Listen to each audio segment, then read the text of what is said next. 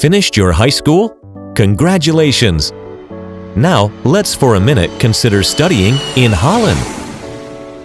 The Erasmus School of Economics is actually right next door, sort of, and has educated some of the most influential people in Europe, such as Peter Bakker, President of World Business Council for Sustainable Development, and current CEO of Philips, Frans van Houten. First Nobel Prize winner for economics, Jan Tinbergen, also walked through the hallways of our school.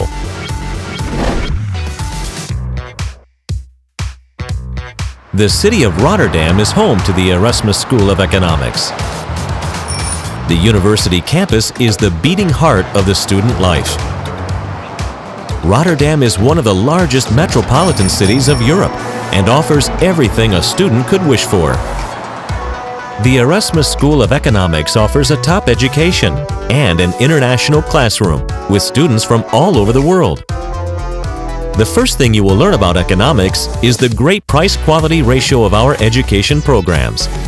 So make your parents proud with an excellent education for a fair price.